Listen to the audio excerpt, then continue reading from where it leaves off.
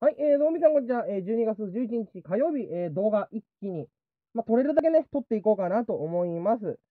えー、っと、ここのところね、まあ、このチャンネル、えー、鉄道模型のね、発売が、まあ、少なくなってきてたんでね、まあ、久々の N ゲージ紹介にはなるんですけどね、まあ、ちょっと昨日、やっとね、予定が空いて、えー、一人行けたんで、えー、紹介していきたいと思います。あとはね、まあ、今月は、えー、っと、キティちゃんの新幹線だけがね、一人行くんですけども、まあ、ちょっと臨海線がね、来月に伸びちゃったんで、まあ、1月もね、本当にやばいかなと思っておりますがね。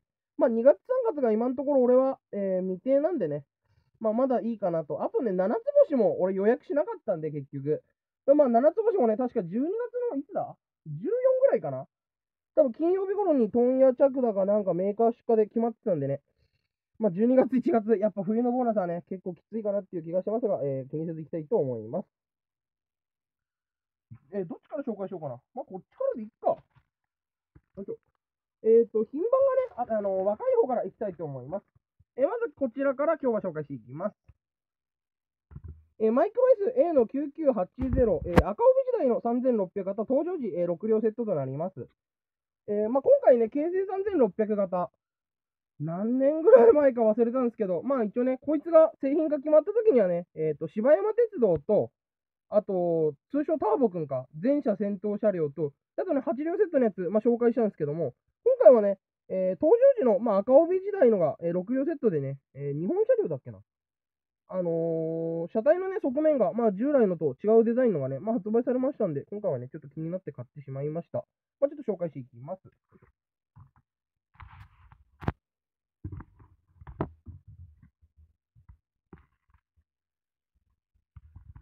いしょまあ、ちなみにね、え従来の、え6両以上はね、マイクレースのこのでかいケースでございます。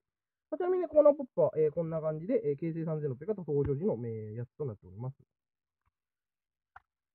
でね、袋はね、なんか今回変わったんですよね。あのー普通にね、説明書と、えステッカーと、あの、修理依頼書がね、入ってるんですけど、今までね、裏面のこの辺にでっかくね、マイクレースってロゴが書いてあったんですけど、今回のからね、ロゴが、えーなくなってしまいました。まあちょっと寂しい感じが、いたしますが、まあ気にせずいきたいと思います。ではね、えー一両ずつ紹介していきたいと思います。えーちなみにこれ全車両なんでいいんだっけ？あのね、今回発売されたのがね、ちょっと俺ね、どっち車両製か忘れちゃったんで、ちょっと申し訳ないんですけど、確かね、今回ね、作り分けられてるんですよね、綺麗に。えー、じゃあ下、どうしようかな。下から行きましょうかね。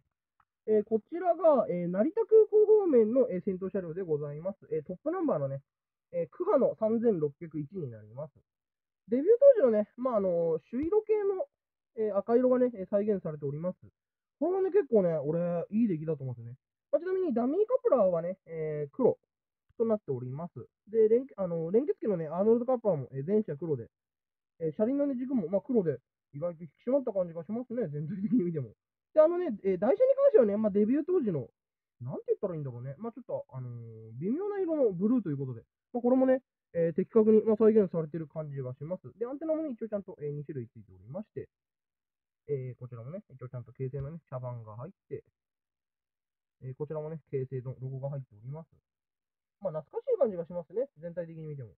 で、この当時はね、優先席は、あの、2両で、あ、失礼、1両に1箇所がついてね、まあ、それが交互の貼り方だったみたいで、まあ、こんな感じでね、入っております。まあ、反対側ね、え何もございません。今はちゃんとね、優先席入ってますが。まあ、今回ね、マイクロ S から発売されたので、なんだっけな、京阪の8000系だっけ ?8000 かな？忘れたんだけど、あの、プレミアムカーのセットと相鉄が意外と人気みたいなんですよね。俺だってちょっと今回両方ともあれ見送っちゃったんで、まあ、多分そんなに視聴回数伸びないと思うんですけど、まあ、一応ね、えーそんなことは気にせずにいきたいと思います。で、こちらがね、えーモハの3602になります。まあ、基本的にはね、パンタグラフが、え2機搭載の車両です。今回のパンタグラフにちょっと難があるところがね、車両によってはあるかもしれないんですけど、まあ、ちょっとこんな感じで。まあ、ちょっとね、上がり方が微妙なところあるかもしれないですけど、まあ、俺基本的にパンタグラフを上げっぱなしに、えーしないで走らせたりするんでね、まあ、関係ないんでいいと思います。一応ね、こんな感じで、えー台車もね、えー色してます。一応ね、優先席のマーク入っております。で、裏側はね、こんな感じで。こんな感じでございます。よいしょ。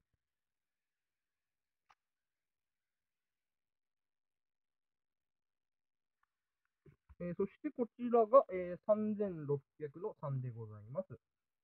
まあ、中間車のね、パンタなしは、まあ普通に床下機なんかもね、あんまり紹介することなく、まあ、普通にこうやって紹介で終わっています。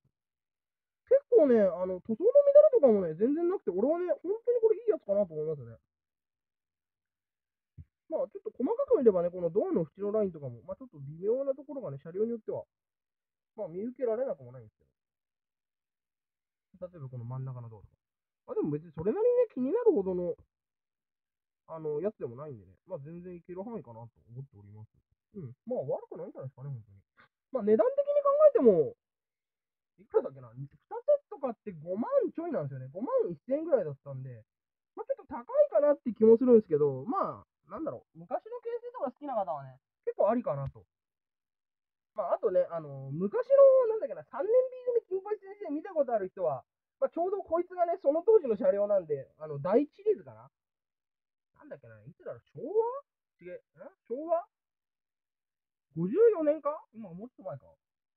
まあ、多分、そんぐらいの時代かちょっとわかんないですけど、まあ、あの、第一シリーズのね、えー、っと、なんだっけ、金八先生の時はね、こいつまだいたんでね、まあ、ちょうどいい本当にプロトタイプになってますよね。多分そうですね、昭和59年でいいのかな？昭和59年だと1982年か。まあ多分そんぐらいか、89年、ん？昭和59年か、多分第一世代が。えそして、えこちら。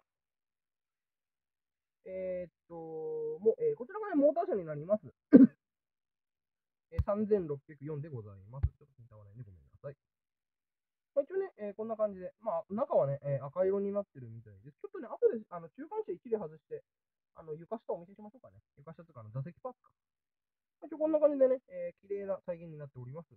まあ、室内灯はね、俺、今のところ標準装備はしてない方のタイプなんで、まあ、ちょっとね、えー来年の下半期か、まあ、ちょっとどうなるかわかりませんけど、まあ、室内灯もね、入れていきたいかなっていうふうに思いますね。よいしょえーそしてこちらが、えー3600の、えーあ、7か。失礼しました。これ3600の、えっ、と、4じゃなくて6っすね。そうだ、これ中間車2両が欠番になってんだ。失礼しました。えこちら3600の7でございます。まあ、これもね、基本的に3600の3と、えー、車番以外はね、全くっていうぐらい変わりございません。まあ、中間車は基本的に共通です。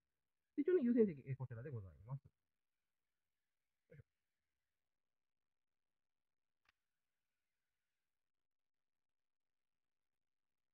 えそして最後がね、えー、クハ3600の8でございます。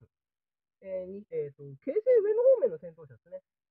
こんな感じで、前面はね、えー、懐かしい感じの顔がしますね。で、一応こいつね、急行灯もつくんで、後ろにね、えっ、と、ここちょっと見にくいかな。ここ、台車のここの部分にね、オンオフスイッチついてるんで、まあいいかなと。まあ、ダミーカプラーもね、そんなに長く出ず、まあちょっといいかなと。まあ場合によってはね、TN カプラーに変えてもいいんですけど、すごいね、これ、ダミーカプラーって台車にポン付けなんですよね。へー。本当に台車にポン付けだ。これすごいね。前回のやつどうなったかちょっと忘れちゃったんですけど。多分前回のダミーカプラーだった気がするな。うん、面白いね。ここにちゃんとあの、台車の TN カップラーじゃねえ、ダミーカップラーの取り付けのね、ここがあるんで、ここに入ってるんですね。一応反対側がこんな感じでございます。一応ね、えー前面ここに、えー、と種別つけて、行き先つけて、ここにね、運行番号となっております。まあ、これはその前にね、従来と変わらないいいやつでございます。印刷も綺麗ですね。ここちょっと、まあ、車番が見にくいのはね、まあ、この車両独特なんですけど、まあ、3608度。まあ、いい感じですね。うん、これに関しては本当になかなかのいい感じがしますね。よいしょ。ちなみに3601の方も、前面だけちょっと見せてくださいね、もう一回。ちょこんな感じで。今ちょっとギリギリ見えるかっていうぐらいかな、こっちに関して。まあ悪くはないんじゃないですかね。ではちょっと座席パーツの方とかもね、ご紹介しましょうかね。どんな感じか。おお、あ、すごいね。ああ、結構すげえな、これ。座席パーツもね、あのまあ、意外といないと思うんですけど、N ゲーに人形を取り付ける方がごく稀にいらっしゃるんですよね。まあ、ちゃんとね、座席の表現もされてて、ここの切り欠き部分もあるんでね、見にくいかな。見にくいかな。ここはね、ちょうどここにあるんですよね。こことここと。ここあとこちら側に優先席的なところになるんですけど、これは結構なかなか面白いな。うん、まあ、ちょっとこいつのね、デビュー当時俺全く知らない世代の人間なんで、ちょっとまあ申し訳ないですけど。これはちょっと完全に俺はいい商品だと思うんですよ。あの、マイクロエースってね、やっぱりね、値段が高いとか言われてるんですけど、クオリティとしてはね、まあ、悪くないんですよね、全体的に見ても。ただ気になるのがさ、このセット、モーター車両じゃないところに、こうちょっと見見えるかな？モーター車両じゃないところにこのウレタの突起あるんですよね。なんでかわかんないですけど。まあ、いっか、それぐらい。でちなみに、えーこいつ日本車両か東京車両ちょっとどっちか区別つかないの忘れですけど、こいつね、全車両ここのね、ドア、あの、乗客のね、ドア下のところに、この飛び出てる部分があるんでね、これは結構ね、個人的に好きだったんですよね。買っちゃいました。というわけでございます。一応ね、ステッカーの方も、えーご紹介します。ちょっとお待ちください。まあ、今回はね、軽い紹介動画なんで、えーステッカーはね、また別動画で、えー貼り付けになります。ご了承ください。よいしょ。で、ステッカーがね、一応こちらでございます。ちょっと見にくいかな。よいしょえーステッカーが、えー上野、えー成田空港、西馬込、成田、千葉、津田沼、えー、総合サンドでいいのかな、これ。多分そうですね、総合サンドで合ってると思います。で、えー運行番号の方が、えーこちらでございます。11、51K、53、えーそして特急、急行、普通と入っております。で種別に関してはちょっとごめんなさい、これ見えないんだ。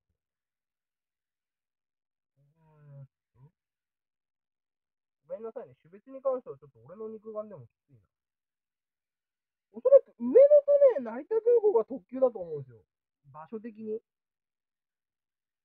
で、あと、まあ、西馬込と成田が急行だと思うんですけど、で、あと普通とね、えー津田沼、千葉、えー、相互サンドがあります。まあ、そんな感じかな。多分下が急行でいいのかな？これ多分急行っぽいんで、西馬込のとこ。で、上が特急でいいのか、やっぱり。ここまで拡大するとギリギリわかりますね。まあ、ちなみにね、今回のあのーと、コーナーポップ見るとあれなんですけど、えー成田空港行きになってるんですよね。ちょっと見にくいかな。で、えー列車番号が15の、えー白で、まあ、特急と。まあ今回はね、ーシール加工して、まあ、このね、えーコーナーポップの編成っていうか、あの運行番号、えー再現したいかなと思いますね。まあ、ちょうど加工すればどうにかなるレベルだと思うんで。うん、まあ、どうにかしたいね、できる。うん、っていうところかなと思います。はい。まあとりあえずね、えーこちらの京成3600の前期型。まあ、昔のね、編成が好きな方とかね、まだ買ってない方で、あ、欲しいなと思った方、まあ、どうなんだろう。あの、京阪とか相鉄並みに人気があるわけではないんで、